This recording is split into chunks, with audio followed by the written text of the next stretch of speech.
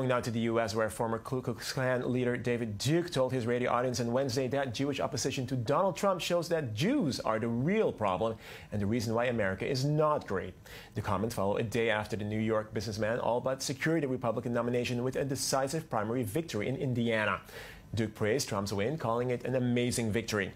Duke, one of America's most prominent white supremacists, was less victorious in politics, running unsuccessful campaigns for Louisiana governor, the U.S. Senate, the U.S. House of Representatives, and the presidency.